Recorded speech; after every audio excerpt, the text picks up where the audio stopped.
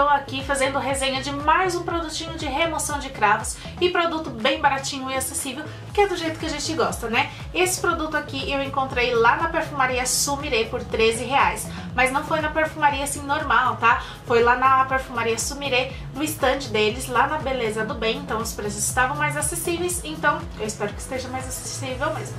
Tinha também o sachê que estava em torno de 3 e pouquinho, mas saía mais em conta em conta comprar assim, né, que vem 40 gramas. É aqueles produtinhos normais, né, de máscara que a gente encontra assim, de embalagem. E também tem os sachês, e esse daqui, né, máscara preta que a gente aplica e depois de um tempinho ela seca, a gente retira. Essa daqui é da marca Capim Limão, eles estavam lá até com a Sheila Mello, né? Ela tava fazendo propaganda, ela foi lá, dançou. E esse daqui ele diz que é Black Mask, carvão ativado e turmalina, máscara facial com colágeno, estimula a produção de colágeno, skincare testado dermatologicamente, controle da oleosidade, limpeza profunda dos poros e remoção dos cravos e espinhas. Máscara facial colágeno Black Mask remove mas remove cravos, impurezas e células mortas, diminui oleosidade, limpa e hidrata profundamente a pele e estimula a produção de colágeno. Devido à turmalina, ajuda a ativar a circulação, além de remover as toxinas da pele em virtude do carvão ativado em sua fórmula. Modo de uso, com o rosto limpo, aplique uma camada uniforme na pele, evitando as regiões com pelos e como sobrancelha.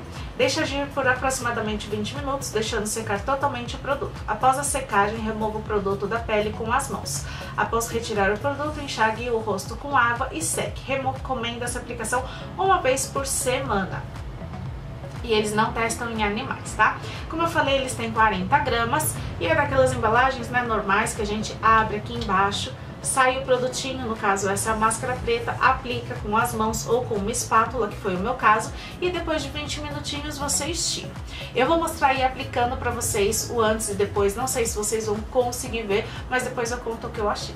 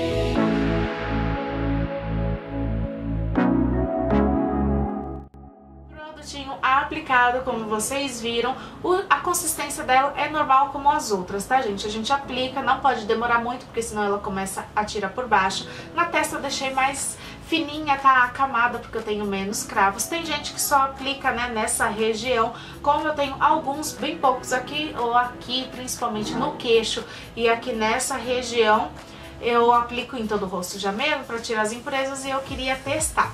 Aí eu passei mais grossinho e deixei por 20 minutos. Ele não secou totalmente por 20 minutos, então acredito que vai ser em torno de 25 a 30 minutos. E eu achei bem difícil de retirar, sabe, gente? Eu tive dificuldade, tanto que depois eu levantei assim com a pinça e fui tirando pra puxar mesmo. Mas eu acho que quanto mais grosso, mais fácil de tirar, mas tem que deixar mais tempo, porque onde eu apliquei com mais produtos, ele ainda tava meio molhadinho, então foi mais difícil. Então, achei difícil tirar. O cheiro ele é forte, assim cheirando ele aqui na embalagem, ele é um cheiro gostoso, mas quando eu apliquei achei um cheiro forte, mas nada que incomode ou arda os olhos, tá? Só um cheiro mais forte mesmo.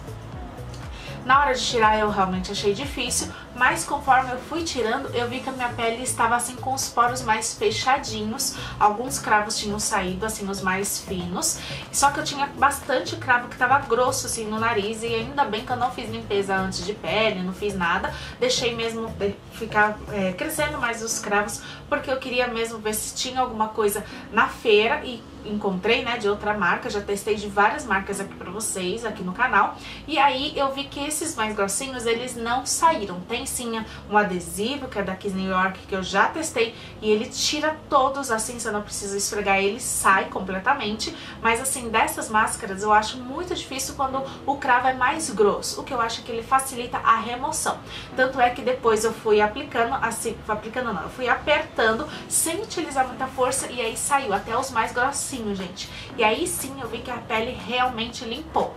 Os poros eu vi a diferença na hora, tá? A pele ficou mais lisinha.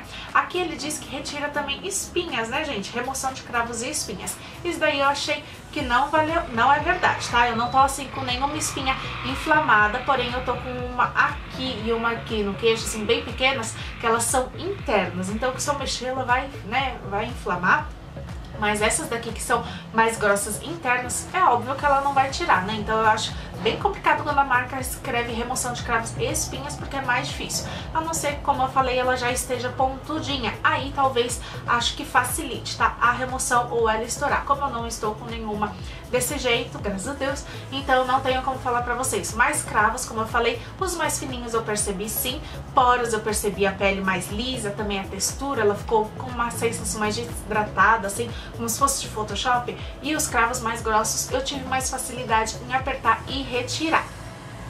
Não consegui tirar tudo certinho assim com a mão, confesso, inclusive eu apliquei com espátula para não ficar grudando, né, justamente para facilitar a aplicação. Mas na hora mesmo de tirar eu achei mais difícil com a mão. E depois eu lavei assim com água, né, normal no rosto. E depois eu passei a água micelar para retirar tudo direitinho. Aí sim que eu vi que a pele estava maravilhosa e apliquei depois uma, o gel, né, de vitamina C anti-idade que eu costumo usar no dia a dia. E aí eu vi que a pele absorveu melhor, sabe, ela ficou hidratada, ficou mais viçosa, ficou muito bonita, gente, tanto que a maquiagem, ó, que eu fiz hoje, ela assentou melhor na pele. Nem a base assim, tanto lá essas coisas que eu passei, porque é só pra gravar assim de longe. E eu achei bem boa, bem bonita. Gostei bastante, gente. Curti. Então é isso, meus amores, eu gostei bastante, achei que vale super a pena por 13 reais para 40 gramas. Não acho que assim ela vai durar eternamente, eu até que usei um bastantinho, mas eu acho que vale mais a pena do que um sachê, né, que tava quase 4 reais. Então, se vocês forem comparar, se vocês puderem, assim, na loja, vale mais a pena. Não tinha testado outro produto da Capim Limão, mas eu sempre ouvi falar, né, conheço os produtinhos e lá, já que tinha lá na na perfumaria Sumire, eu quis testar. Tá bom, meus amores? Então é isso. Comenta aqui embaixo se vocês já conheciam essa marca ou se vocês já testaram, tá bom? É isso, espero muito ter ajudado vocês ou ter deixado aí um pouquinho de curiosidade, tá bom? Não se esqueçam, é claro, do meu joinha, de se inscrever no canal e de me seguir lá no Instagram. Um grande beijo. Tchau!